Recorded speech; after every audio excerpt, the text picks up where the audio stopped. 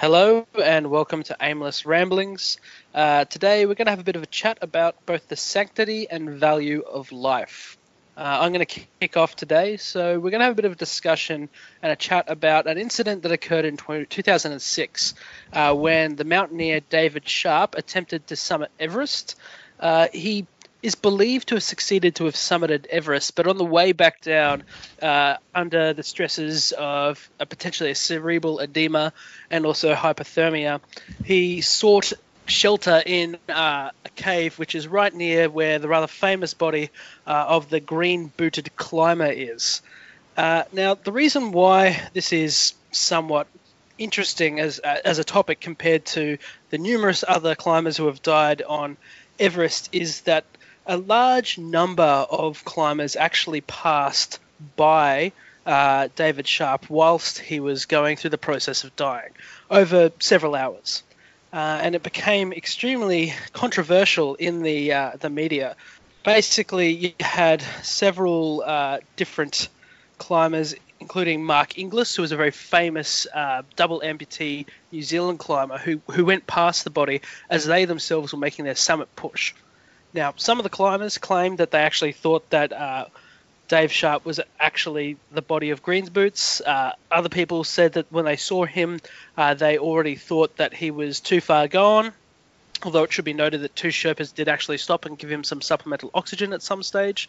Uh, but uh, Mark Inglis really came under a lot of controversy and a, a lot of uh, criticism, including from Sir Edmund Hillary, for not helping Sharp, even attempting to try and get him down from such a high altitude. Uh, and the question I want to ask is realistically, in, in, these kinds of environments, we see people who are risking their own lives uh, to get to the top, and that's one thing. But we also see people who would be willing, uh, and I mean, for these people who have gone to climb Everest, they've invested tens of thousands of dollars.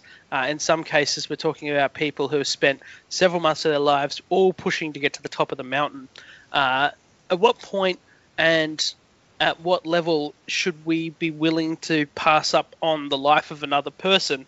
And really, what is kind of uh, the value of another person's life to us when we're in the push for an endeavor? So I'll, I'll probably throw it to you guys uh, now, Simon and Sam, uh, because I don't want to hog it, but it's, it's really more of a, a thought provoking question rather than a recount of this specific instance of uh, people ignoring another person's life uh, to achieve their own goals.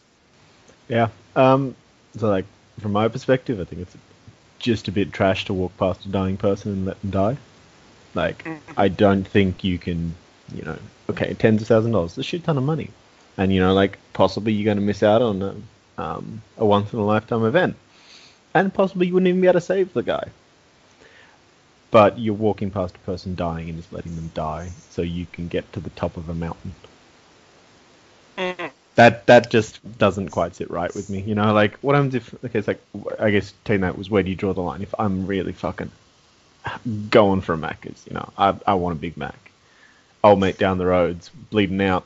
Shit, if I call the ambulance, I kind of have to hang around. Mm. You know, obviously, no, no one's well, not no one, but not many people are gonna walk on by someone dying to get McDonald's. But where does it become acceptable? I guess. Simon? Um, well, as you were discussing, not very many people would.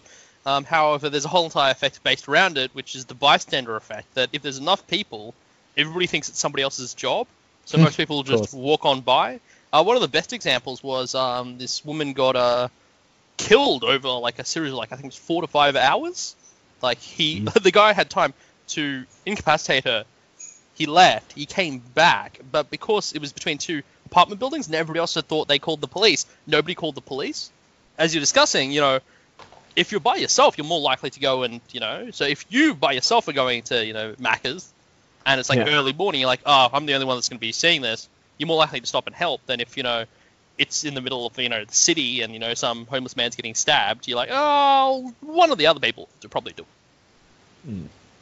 So I suppose um, an interesting one to bring up of this is probably there's a, a moral philosopher, an Australian actually called Peter Singer, and uh, his argument is actually uh, something along the similar lines of what Sam's mentioned here. He says that, well, if you're in a park and you're wearing a brand new set of really expensive shoes, but you see a child drowning in a pond, no one else is around, no one's going to know if you jumped in and saved the child or didn't save the child. Almost everybody, at least everyone socially conditioned and uh, yeah, sort of yeah. functionally working within the society, is going to jump in and save the child. However, his argument's then like, well, if you're willing to sacrifice a very expensive set of shoes to save one child here right now, why aren't you willing to, you know, sacrifice a significant portion of your income, every single one of us in the entirety of our society, to save the lives of millions of children overseas? So he, he's a big advocate, essentially, for people uh, to he calls it uh, responsible giving. Basically, he talks about people taking as much of their income as possible can be given away, and then donating it uh, to saving children o- o- overseas and abroad, uh, or, or people more generally. So he's looking pure numbers, quantitative numbers, uh, mm. just saving people.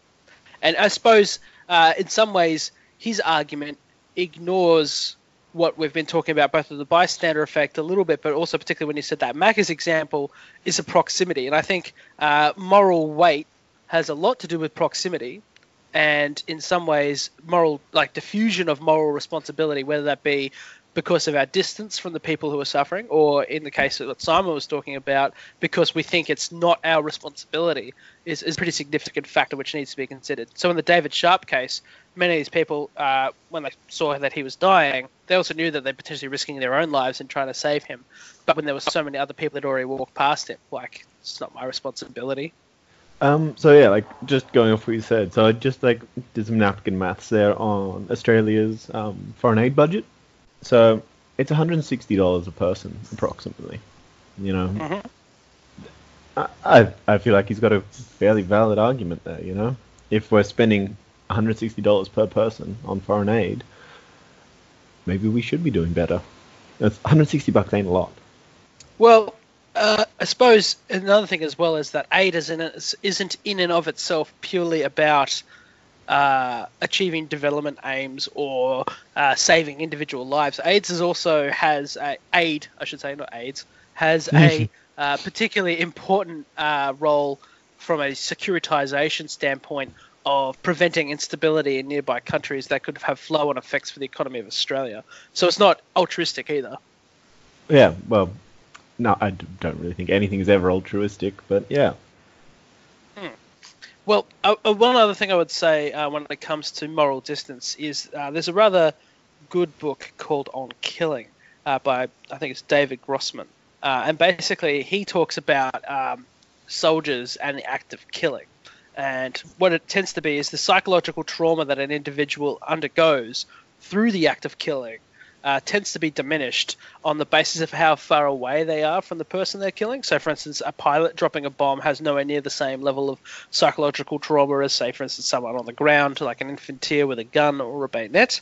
Uh, and also, um, when it's a crew of people operating a weapon system, for instance, a artillery piece as opposed to an individual operating a single weapon system, uh, once again, the moral responsibility is diffused, and therefore they don't suffer so much of a psychological or moral injury, as it's sometimes called. Simon, you got anything to add to that? Um, well, as you're mentioning, like the psychological and moral in- injury, it uh, sort of reminds me of um, the whole entire build-up of how crime occurs, because crime in and of itself, as a concept and as social beings, is actually counterintuitive, and it's all about this like sort of diffusion of responsibility, diffusion of blame, diffusion of all these different elements. And as you discussed, like when there's more people, there's what on, but also it's like your mindset going in there. And continuing on with the war example, you were talking about how like um, infantrymen would have a bit of an issue, but um, if you can dehumanize the opponent, it stops being as difficult to complete your job. Somebody did the next step in the trolley exam where they talked about, well, you know, what happens if it's one person that you know versus five strangers? And that's that kind of thing of like how much social capital you've put into a Mm. relationship with another human being. That can also Well- affect.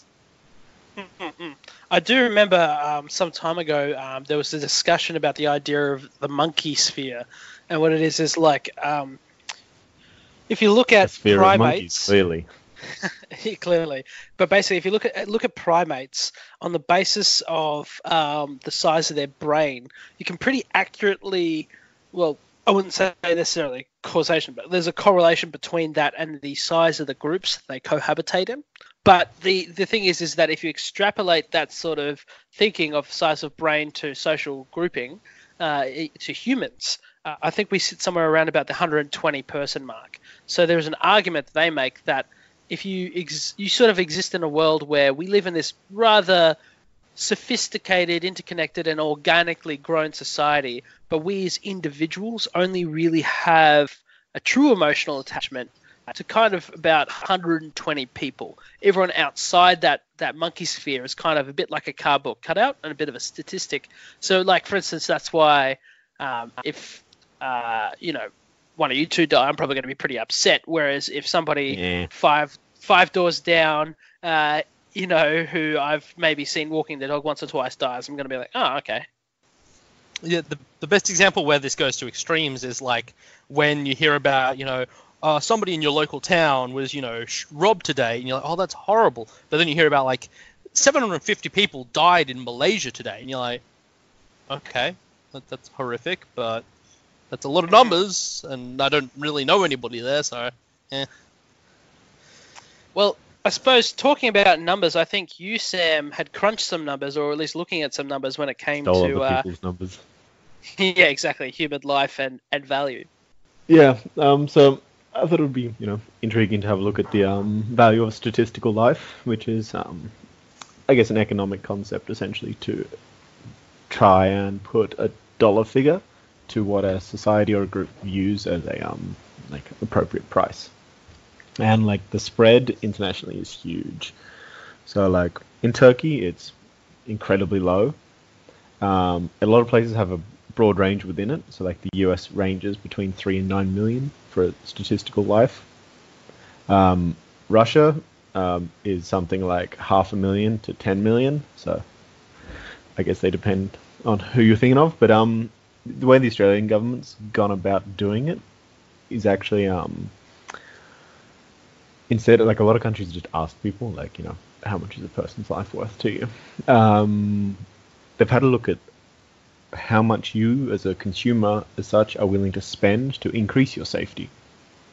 You know, like if say a car with better airbags is 20 grand more, are you interested in spending that 20 grand, you know, to decrease the risk of you dying quite smallly?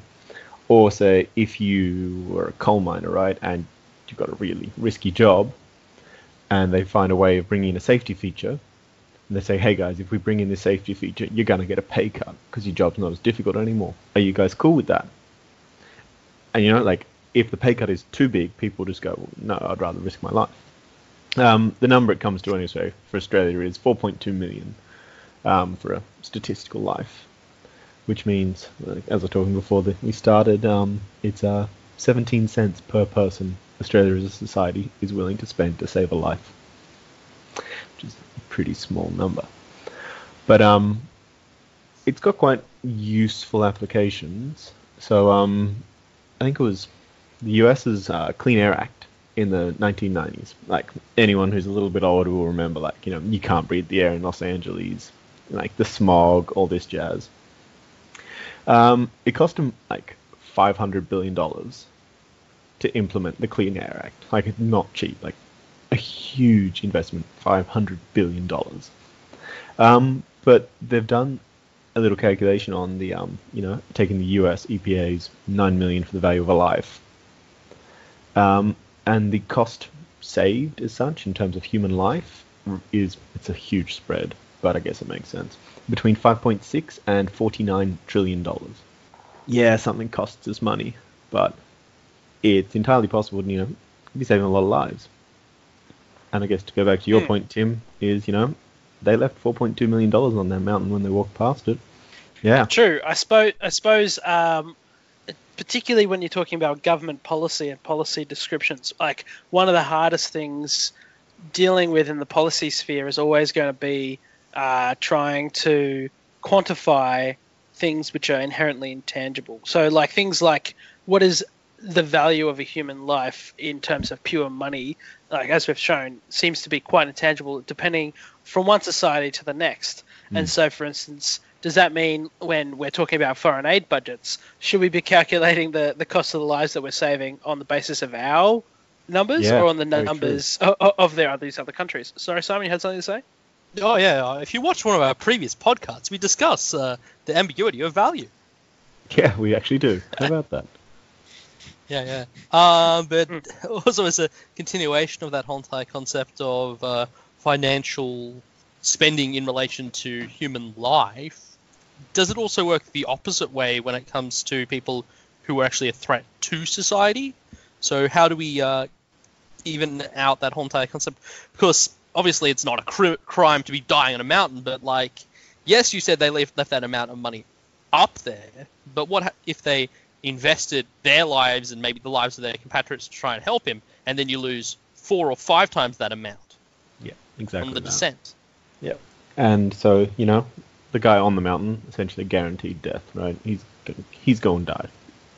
Mm-hmm. Um, but if you know, there's a ten percent chance that the people helping him are gonna die. You know, if there's ten people helping him, well, now it's worse, and mm, mm. no one knows those numbers. And like, I think it was a diver, um, some cave system in the U.S. drowned, right?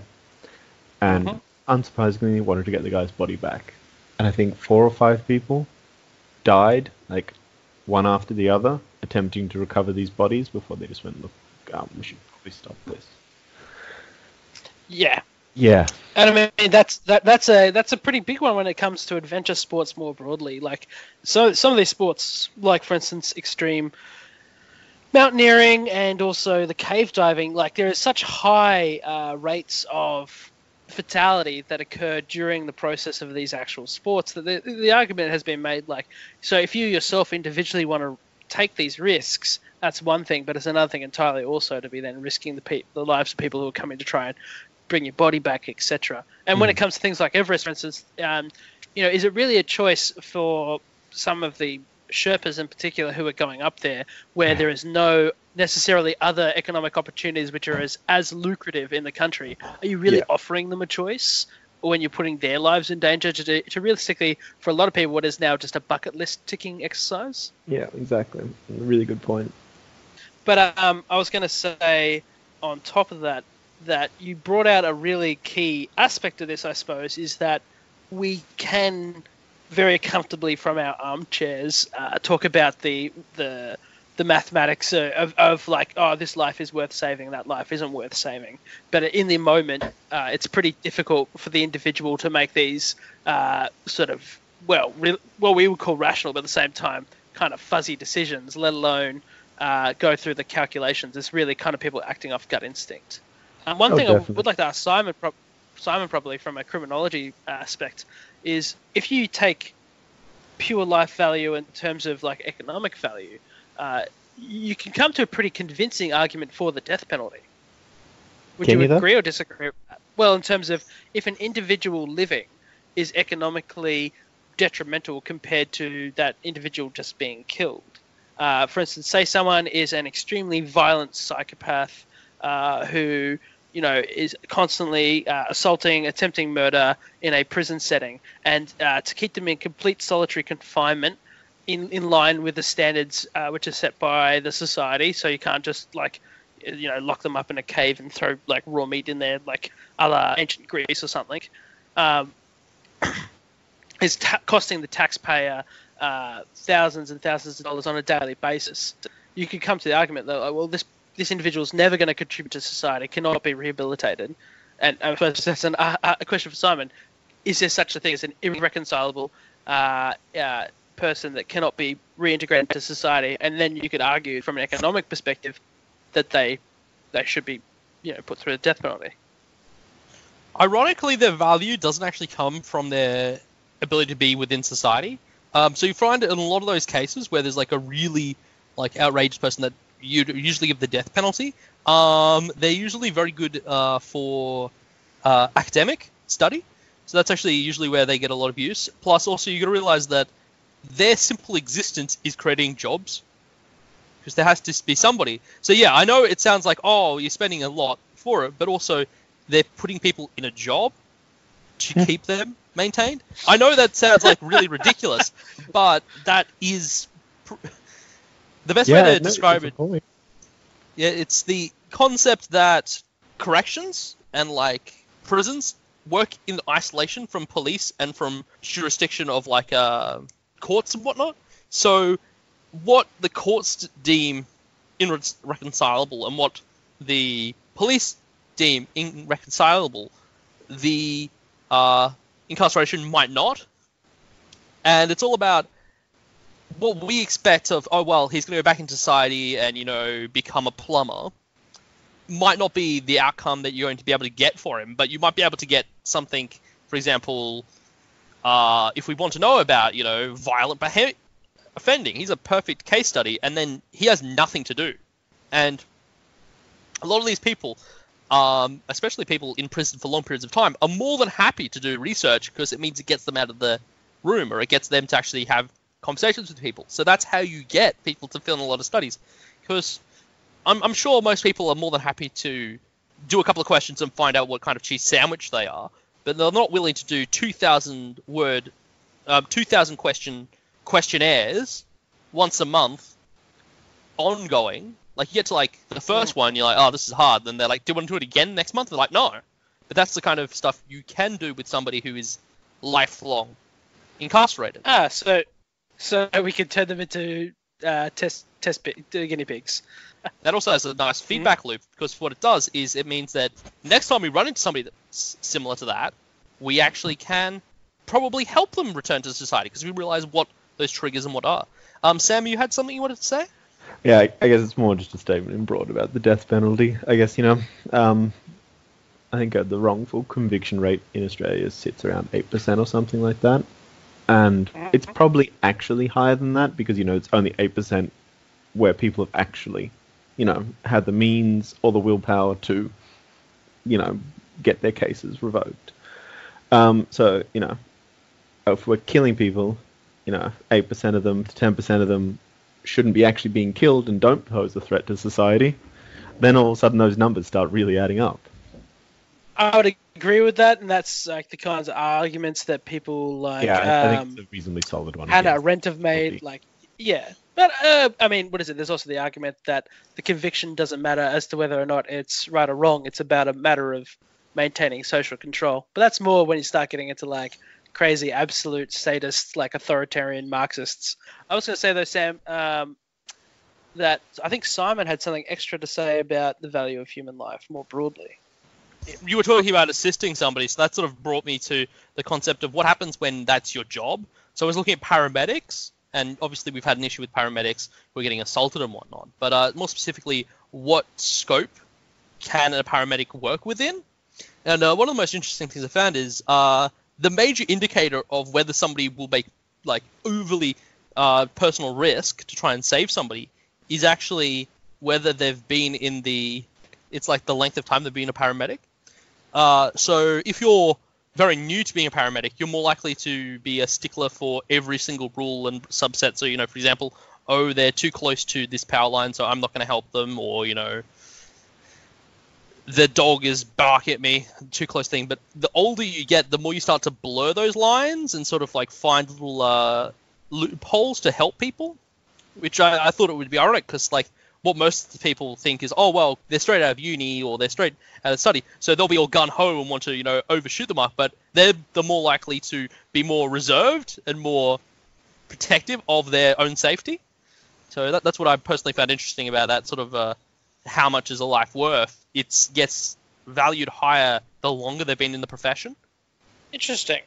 So I wonder, in some ways, maybe is that because if you've been in the profession longer, you've internalized the identity of a paramedic more, which means you're more willing to risk your own life to do something you think that a good paramedic would do, which is saving lives.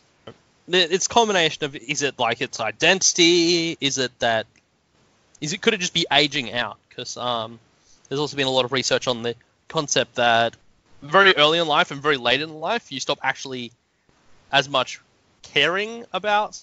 Like obviously there's outliers with everything, but uh, there seems to be like sort of a downturn. But then there's also this weird middle point where people stop caring about their safety, but that's more because they think they're bulletproof. So it's mm. working out: is it that they're becoming more thing, or is it that they're valuing their life less? Could it be also an addiction to um the rush of the job? Oh, true. Uh, adrenaline kind of junkie yeah, kind of concept. Yeah. yeah. Either way, thank you for your service, ambulance people. yeah. Yeah, yeah. Thank yeah, you. Thank yes. you. Especially when you're being assaulted by random people all the time. Right. Mm. Yes.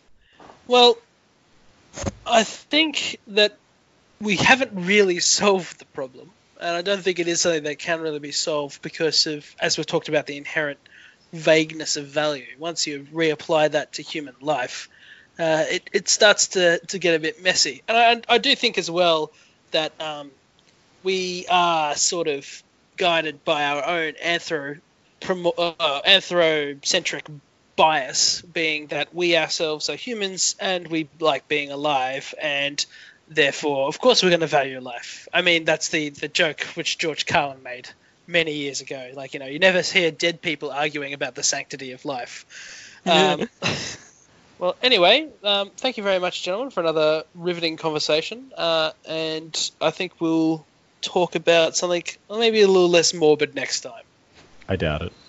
Cheers, and thank you once again to our listeners, uh, and I hope to see you next time.